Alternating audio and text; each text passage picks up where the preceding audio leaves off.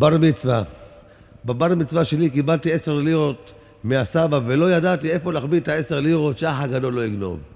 אז לא היו בנקים ולא בלטו דן תפרן דן חסכן. איפה להחביא את העשר לירות שהאח הגדול לא יגנוב? טיכסתי עצה ומצאתי. פתחתי את ספר התנ"ך, שמתי את העשר לירות תחת הפסוק לא תגנוב. ישנתי על הכיפה, קיק סייס. אני קם בבוקר, פותח את הספר, מה אני רואה? במקום עשר לירות, חמש לירות. תחת הפסוק ואהבת לרעך כמוך.